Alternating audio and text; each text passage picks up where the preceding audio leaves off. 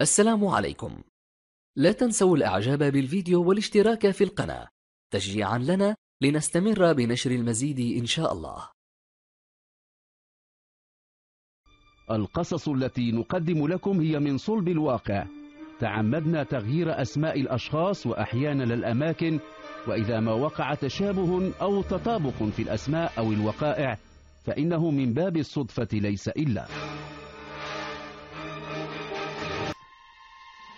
ظهيرة يوم من أواخر مارس من العام 67 900 وألف تقدمت إلى عميد الشرطة بمدينة القنيطرة سيدة في العقد السادس من عمرها.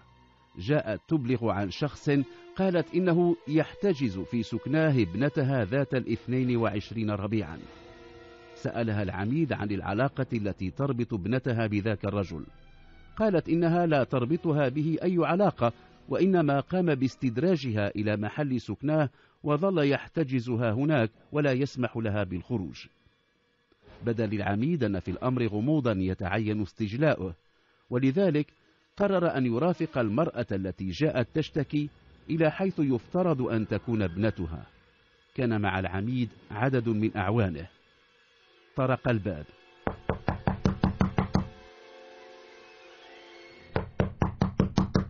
من؟ رد صوت امرأة. الشرطة افتحي. الباب مغلق بالمفتاح.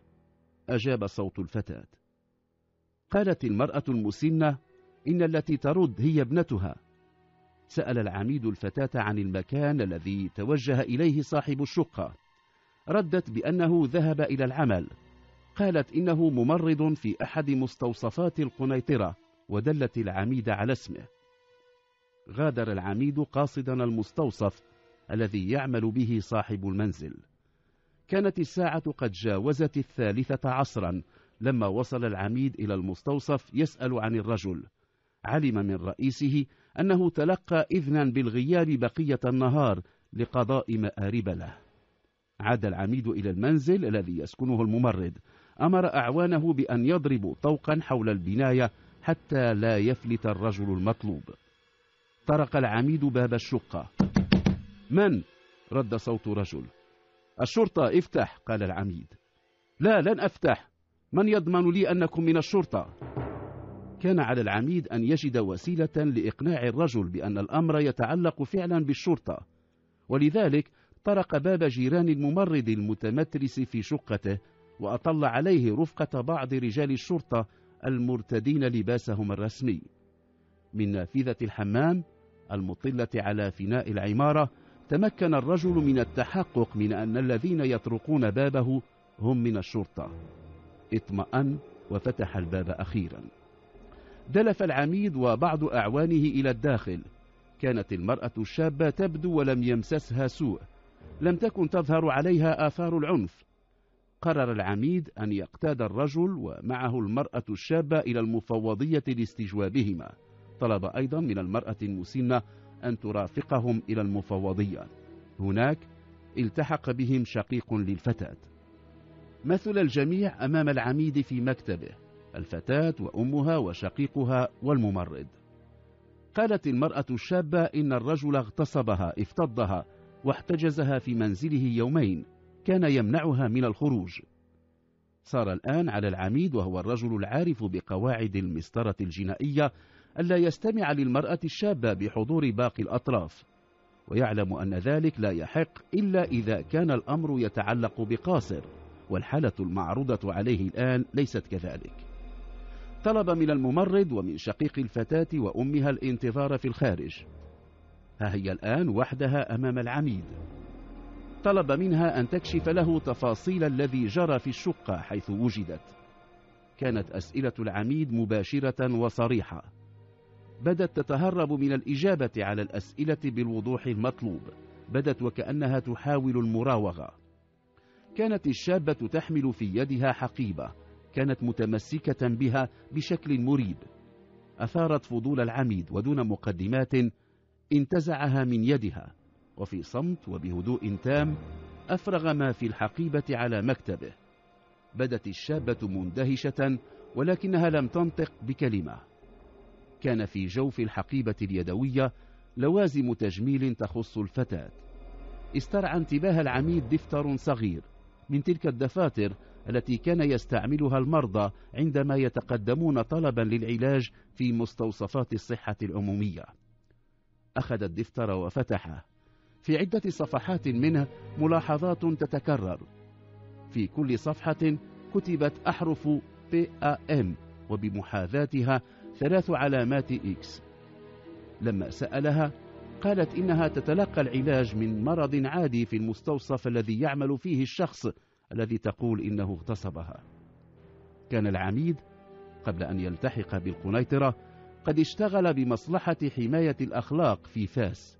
وقتها اكتشف جذاذات تعود إلى فترة الحماية وقد قاده فضوله إلى البحث في شأنها فعلم أنها لنسوة من بائعات الهوى كن ملزمات بالخضوع لفحص طبي دوري. يستحضر العميد معلوماته. يتذكر أن علامة X واحدة تعني أن المرأة مصابة بمرض السيفيليس من الدرجة الأولى. أما وجود علامتي X أو ثلاث علامات فهو يعني أن الإصابة متجذرة وتقتضي العلاج بالبنسلين المركز وهو الذي يشار إليه بأحرف بي ام وهو الحال الذي عليه هذه الشابة. الماثلة أمامه. أحرجها لم تكن تتوقع أن يعرف العميد حقيقتها. أجبرت على البوح بالمستور. قالت إنها مصابة بمرض من الأمراض المتنقلة جنسيا بسبب احترافها البغاء. ادعت أن ظروفها الاجتماعية قادتها إلى ذلك. كان شقيقها المعيل الوحيد للأسرة ولما نودي عليه للخدمة العسكرية لم يعد لدى أسرتها من دخل. قالت إنها لما عاد شقيقها من الخدمة العسكرية خشيت أن يفتضح أمرها ولذلك سعت إلى الإيقاع بالممرض عله يتزوجها أو يصير درعا تتستر وراءه. في الواقع كان الممرض يحاول إغواءها كلما صادفها في المستوصف. كانت تتمنع تتظاهر بالتمنع. وذات يوم قررت أن تستجيب لغوايته. دبرت الأمر. ضرب لها الممرض موعدا في المساء. كانت معها صديقة لها. طلبت منها أن تتقفى أثرهما حتى تعلم الوجهة وإذا ما لم يظهر لها أثر وحتى إذا ما سألت والدتها عنها دلتها على الشقة التي دخلتها. وتم الأمر كما خططت له. بعد ثمان وأربعين ساعة كانت الشرطة تطرق باب الشقة. بدا للعميد أن الممرض لم يجبر الشابة على مرافقته إلى منزله. نادى على شقيق المرأة الشابة. أطلعه على الذي توصل إليه. بدا الشاب العائد من الخدمة العسكرية وقد اقتنع بالخلاصات التي أفضى إليها الاستماع إلى اعترافات شقيقته. التمس عدم تسجيل أي شكاية ضد الممرض. أخلى العميد سبيل الفتاة وعادت إلى منزل أسرتها ترافقها أمها وشقيقها. وحده الممرض بقي في المفوضية. كان شابا ينحدر من الراشدية. نودي عليه فأدخل مكتب العميد. كان العميد مع صرامته وجده في عمله رجلا محبا للدعابة. لما مثل الممرض أمامه قال له إن الحجج قائمة ضده وما عليه الآن إلا أن يختار بين الزواج من تلك الفتاة التي تتهمه باغتصابها أو أن يحاكم فيصدر عليه حكم بالسجن من خمسة إلى عشرة أعوام. في لحظة تخلص الشاب من خجله نظر إلى العميد وأقسم أنه يفضل السجن على أن يتزوجها. سأله العميد إن كان مصرا على موقفه. قال إنه مصر ولن يتراجع مهما كلفه الأمر. قال له العميد ما دمت مصرا على رفض الزواج منها فانصرف إلى حال سبيلك.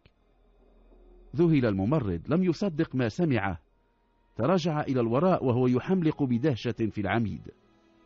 كرر العميد إذا كنت رافضا الزواج منها فانصرف إلى حال سبيلك.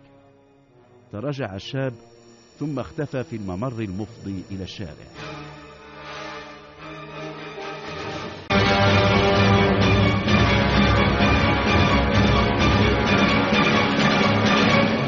إن أعجبك الفيديو لا تنسى الإعجاب والاشتراك في القناة.